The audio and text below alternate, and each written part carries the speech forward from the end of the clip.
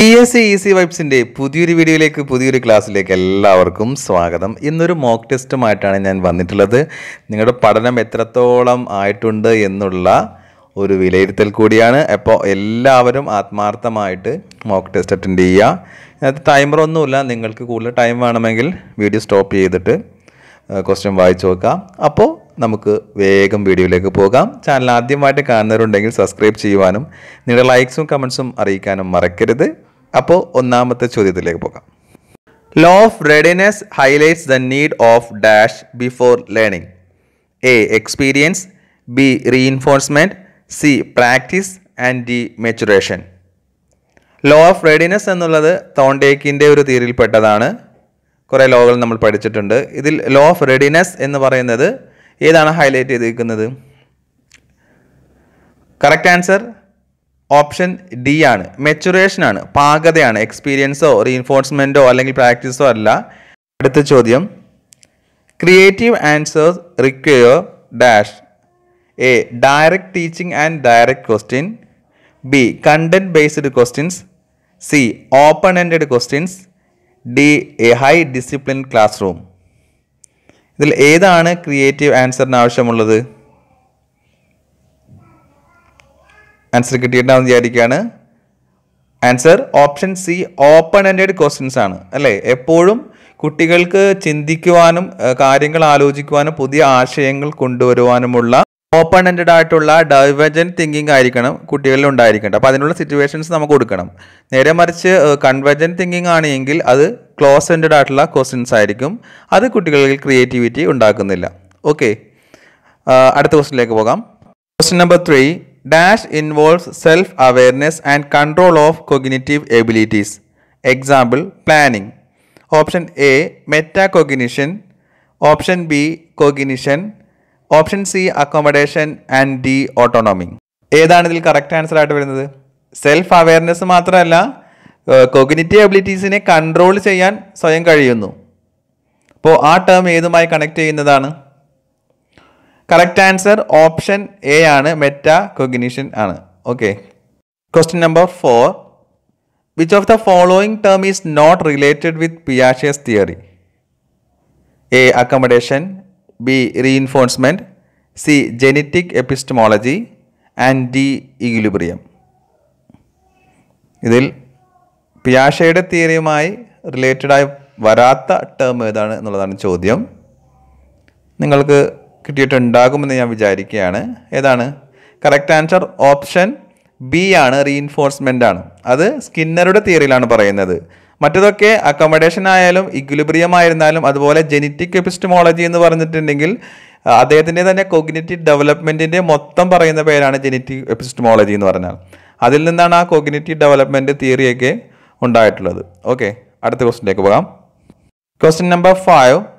Constructives such as Jean Piaget and Vygotsky view learning as A. Conditioning of reception B. Passive repetitive process C. Process of meaning making by active engagement and D. Acquisition of skills ഇതിൽ കൺസ്ട്രക്റ്റീവ്സിന്റെ അഭിപ്രായം അല്ലെങ്കിൽ constructivism എന്താണ് എന്നുള്ളത് നമ്മൾ പഠിച്ചിട്ടുണ്ട് അതിൽ എങ്ങനെയാണ് ഒരു ലേണിംഗ് കാര്യങ്ങൾ നടക്കുന്നതിന്റെ മെത്തേഡ് എന്താണ് എന്നുള്ളതാണ് ചോദ്യം അതിൽ പ്രധാനികളാണ് ജീൻ പിയാഷയും വൈഗോട്സ്കിയും നമുക്കറിയാം.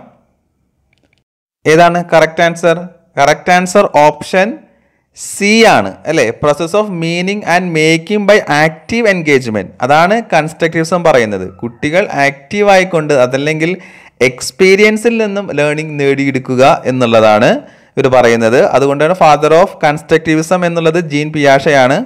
ഫാദർ ഓഫ് സോഷ്യൽ കൺസ്ട്രക്റ്റിവിസം എന്നറിയപ്പെടുന്നത്. വൈഗോട്സ്കിയാണ് ഓക്കെ ഇത് മാറിപ്പോകണ്ട. അപ്പോൾ അതിന്റെ ഒരു മെത്തേഡ് തന്നെ അങ്ങനെ തന്നെയാണ്. ഓക്കെ അടുത്ത ക്വസ്റ്റിലേക്ക് പോകാം. അടുത്ത ചോദ്യത്തിലേക്ക് പോകാം.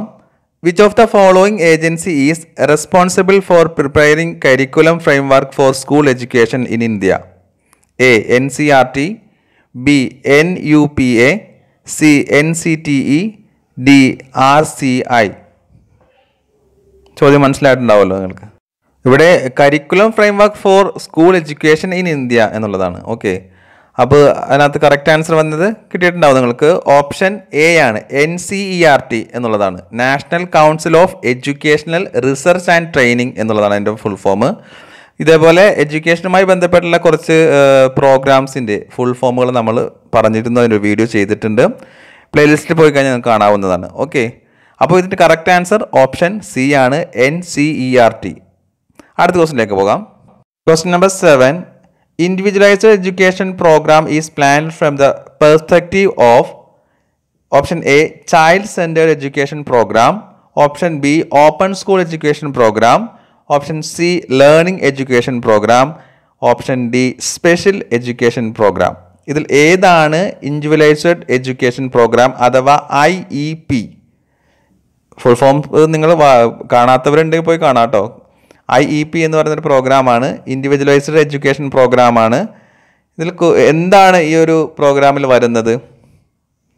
കറക്റ്റ് ആൻസർ ഓപ്ഷൻ എ ആണ്. ചൈൽഡ് സെന്റേഡ് എഡ്യൂക്കേഷൻ പ്രോഗ്രാമാണ് ഇതിൽ ഉദ്ദേശിക്കുന്നത്. അതായത് ലേണർ സെന്റേഡ് ആയിട്ടുള്ള എഡ്യൂക്കേഷൻ പ്രോഗ്രാം അതല്ലാതെ ഓപ്പൺ സ്കൂളോ അല്ലെങ്കിൽ ലേണർ എഡ്യൂക്കേഷൻ പ്രോഗ്രാമോ സ്പെഷ്യൽ എഡ്യൂക്കേഷൻ പ്രോഗ്രാമോ അല്ല ഐ ഇ പിയുടെ ഉദ്ദേശം ഇതാണ്. ഓക്കെ അടുത്ത ക്വസ്റ്റിനിലേക്ക് പോകാം.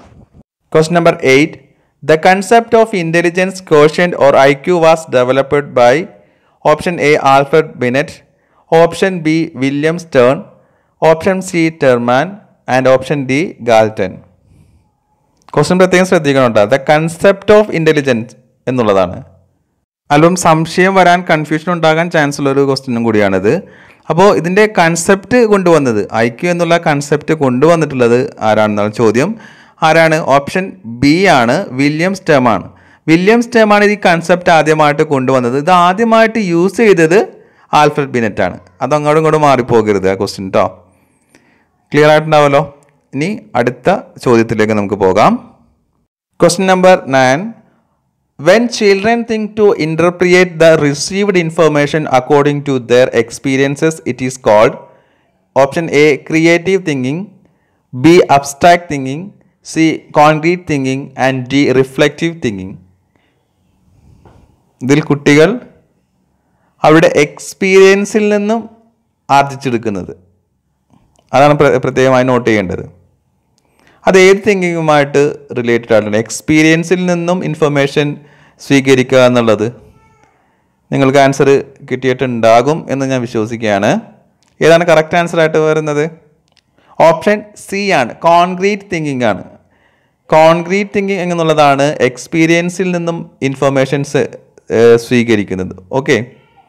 അപ്പോൾ അടുത്ത ക്വസ്റ്റിനിലേക്ക് നമുക്ക് പോകാം. Question number ten in remedial teaching remedial teaching എന്താണ് റെമഡിയൽ ടീച്ചിങ് നടക്കുന്നത് എന്നുള്ളതാണ്. Option A teaching is carried out continuously B teaching and testing is carried out option C teaching of difficult topics is carried out option D teaching testing and re teaching are carried out ഇതിൽ ഏതാണ് remedial teaching എന്ന് പറയുന്നത് ഉദ്ദേശിക്കുന്നത്? Remedial teaching റെസിപ്രോക്കോൾ teaching ഇതൊക്കെ ഇതിനകത്ത് വരുന്നതാണ്. എന്താണ് remedial teaching എന്ന് പറഞ്ഞാൽ കറക്റ്റ് ഓപ്ഷൻ ഏതാണ്? Okay correct answer option D ആണ്. Teaching testing and re teaching are carried out എന്ന് പറഞ്ഞാൽ കുട്ടികളെ അധ്യാപകർ പഠിപ്പിച്ചു അതൊരു അധ്യാപകൻ പഠിപ്പിച്ചു അതിൽ ടെസ്റ്റ് ചെയ്തു. അപ്പോൾ കുട്ടികൾക്ക് മനസ്സിലാകാത്ത കൺഫ്യൂഷനുള്ള ഭാഗം വീണ്ടും കുട്ടികൾക്കായി പറഞ്ഞു കൊടുക്കുന്നു. അതാണ് റീ ടീച്ചിങ് ഉദ്ദേശിക്കുന്നത്. എന്ന് പറഞ്ഞിട്ടുണ്ടെങ്കിൽ ഇപ്പോൾ നമ്മളൊരു ക്ലാസ് എടുത്തു കഴിഞ്ഞിട്ട് ക്വസ്റ്റ്യൻ ചോദിച്ചു ക്വസ്റ്റ്യൻ ചോദിക്കുമ്പോൾ ഏതെങ്കിലും ഒരു ഭാഗത്ത് കുട്ടികൾക്ക് ആൻസർ പറ കിട്ടുന്നില്ല എങ്കിൽ നമുക്ക് മനസ്സിലായ കുട്ടികൾക്ക് ആ ഭാഗം മനസ്സിലായിട്ടില്ല എന്നുള്ളത് അപ്പോൾ നമ്മൾ എന്ത് ചെയ്യും ഒന്നുകൂടി ആ ഭാഗം ഒന്ന് പറഞ്ഞു കൊടുക്കുന്നു. അപ്പോൾ എല്ലാ കുട്ടികൾക്കും ഉണ്ടായിക്കൊള്ളണമെന്നില്ല കേട്ടോ അത്. ചിലപ്പോൾ കുറച്ച് കുട്ടികൾക്ക് മാത്രമാകാം അതല്ലെങ്കിൽ മുഴുവൻ കുട്ടികൾക്കുമാകാം. ഏതിരുന്നാലും ആ ഏതൊരു ഭാഗമാണോ കുട്ടികൾക്കത് കറക്റ്റായിട്ട് മനസ്സിലാക്കാത്തത് അതിനെ റീടീച്ച് ചെയ്യുക എന്നുള്ളതാണ് റെമഡിയൽ ടീച്ചിങ് എന്നതുകൊണ്ട് ഉദ്ദേശിക്കുന്നത്. റെസിപ്രോക്കോൾ ടീച്ചിങ് എന്ന് പറയുന്ന മറ്റൊരു മെത്തേഡ് ഉണ്ട് അതായത് കുട്ടികളിൽ റീഡിങ്ങിന്റെ ഡെവലപ്മെന്റ് ഉണ്ടാക്കുന്നതിന് വേണ്ടി ടീച്ചർ എന്ത് ചെയ്യുന്നു? കുട്ടികളെ സ്മോൾ ഗ്രൂപ്പായിട്ട് തിരിക്കുന്നു. അതിനകത്ത് ഏതെങ്കിലും ഒരു പാർട്ട് കുട്ടികൾക്ക് വായിക്കാൻ കൊടുക്കുന്നു. അതിൽ നിന്നും പുതിയ വാക്കുകൾ കണ്ടെത്തുന്നു. മനസ്സിലാകാത്ത വാക്കുകളൊക്കെ മാറ്റിവെക്കുന്നു. നാല് തലത്തിലൂടെയാണ് ആ ഒരു ടീച്ചിങ് മെത്തേഡ് കടന്നു പോകുന്നത്. ഒന്ന് സമ്മറൈസിങ് ക്വസ്റ്റ്യനിങ് ക്ലാരിഫയിങ് അതുപോലെ പ്രെഡിക്റ്റിംഗ് എന്ന് പറയുന്നത്. അപ്പോൾ അതിലൂടെ കുട്ടിക്ക് വായന ഡെവലപ്മെന്റ് ചെയ്തെടുക്കുന്നതിന് വേണ്ടിയുള്ള ഒരു ടീച്ചിങ് മെത്തേഡാണ് റെസിപ്രക്കോൾ ടീച്ചിങ് എന്ന് പറയുന്നത്. ഓക്കെ നിങ്ങൾ ക്ലിയർ ആയിട്ട് വിചാരിക്കുകയാണ്. അപ്പോൾ നിങ്ങൾ എത്ര മാർക്ക് ഓരോരുത്തരും സ്കോർ ചെയ്തെന്ന് താഴെ കമന്റ് ചെയ്യുക. തുടർന്നുള്ള ദിവസങ്ങളിൽ ഇൻഷാല്ല കൂടുതൽ കൂടുതൽ മോക്ക് ടെസ്റ്റുകൾ ഇടുന്നതായിരിക്കും എക്സാം എടുത്തുകൊണ്ടിരിക്കുകയാണല്ലോ. അപ്പോൾ കൂടുതൽ കൂടുതൽ മോക്ക് ടെസ്റ്റുകൾ നിങ്ങൾ ചെയ്ത് പരിശീലിക്കുക. വീഡിയോയെക്കുറിച്ചുള്ള അഭിപ്രായങ്ങൾ അറിയിക്കുക. നിങ്ങളുടെ കൂട്ടുകാർക്ക് കൂടി ഷെയർ ചെയ്ത് കൊടുക്കുക. പുതിയ വീഡിയോ പുതിയ ക്ലാസ്സുമായി കാണുന്നവരെല്ലാവർക്കും ബൈ ബൈ